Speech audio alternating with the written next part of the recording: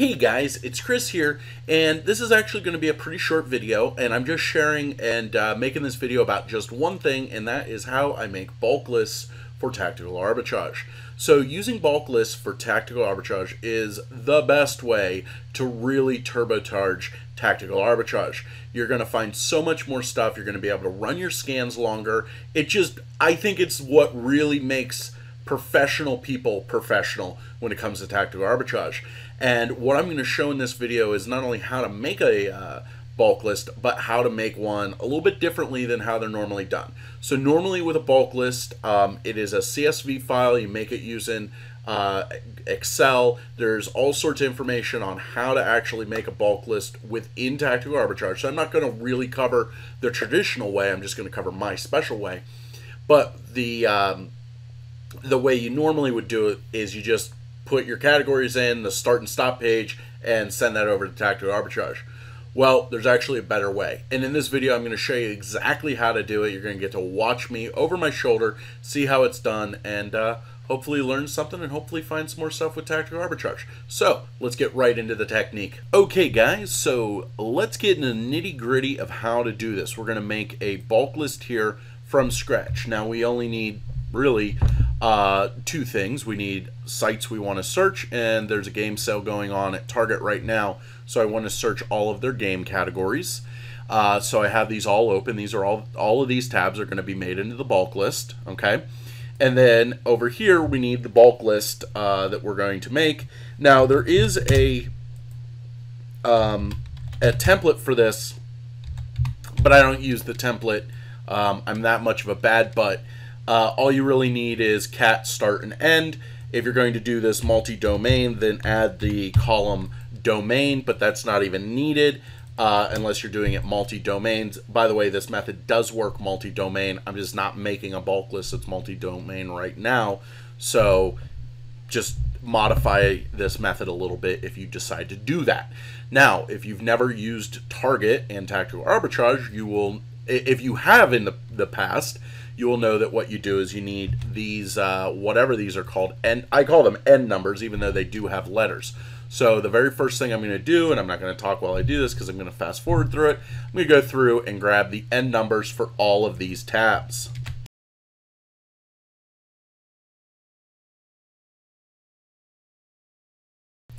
Okay, so now we got this. We have um, it looks like 13 categories here. Now, one of the things that we need to realize about these categories is this category I'm looking at right now, whatever this is, it's got 20, almost 2,300 results. Then this category, we only have 250 results. Now, the way that normally people would do this, so this would be the SGMJY, is they would go, okay, I'm going to start on number one, and then, uh, so Target has 25 results per page, so I need to do 11 pages, and that's the entire category. But we actually don't care about that. See, we are going to be mm, kind of using tactical arbitrage built in um, fail safes where they will actually go in, and if we tell it to scan something that doesn't exist, it just goes to the next line. So, what we do here and this is how I make this bulk list. I start on page one, always on page one, and I just drag this. Okay.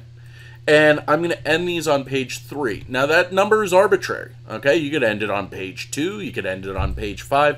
Whatever. It doesn't matter. Then we copy and paste it down the next uh, row. We're going to start. So we got to start on page four or 1 plus the number we ended the last search on. Okay? So we go through just like that. And let's go up to 8. Again, arbitrary number. You can do whatever you want. Okay, so now what this is going to do is it's going to go on this category. It is going to search the first three pages and then stop. Next category, first three pages, then stop. First three pages, then stop. So then it's going to show us results very quickly. I've always believed that the best results you find from tactical arbitrage are in the first couple pages. So is going to get us really good results really fast. That's why I started doing this method. Now, the bonus of it actually finding more results seems to be a pretty good uh, good uh, side effect of this. But um, then it's going to get to the end and it's going to start on each category where it left off before and so on. Now we want to just go in and add these to the end here. Uh, let's do 9 and then uh, we'll cap this out at 25 pages. Now again, as we go through, we are definitely going to have categories where it's going to search and be like, oh, there's not a page 25 of this category, and it's just going to skip them. I don't know what the delay is anymore. It used to be 15 seconds. So all it does is it's just going to hang for 15 seconds, and then it's going to be done. So this is actually very efficient. We're letting the software work for us. This bulk list probably will take several hours to run, but why do we care? We don't have to sit there and babysit this thing. So we're going to run it just like this. This is exactly how I'm going to run this bulk list. And uh, I'm going to find a ton of stuff with this. I'm looking at this uh, buy two, get one free sale. There's all sorts of great stuff here. Um, and it's going to really deeply go into uh, what's going to be available from uh, Target for sale on Amazon. So that's how I do these. Then I would save it and then upload it to Tactical Arbitrage. That's all standard.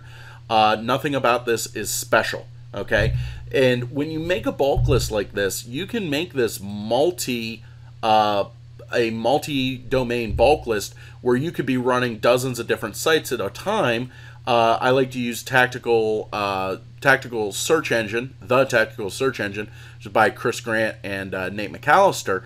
And what that actually will do is, you know, if you search like toys through that, you find all the toy categories of all the websites in tactical arbitrage and be able to just search those over and over again using this method. So if you're, you know, on Friday, you want to search in, you know, Friday we buy toys, you start this search uh, Thursday night, you wake up Friday morning, it's already ran. It's probably three quarters of the way through or whatever, you know, depending on how big it is. And um, you go in there and really find a lot of great stuff. So, just a couple technical limitations to know about is that um, we can only do 500 lines. Okay, so this is only 40 lines, so we're nowhere near the limit.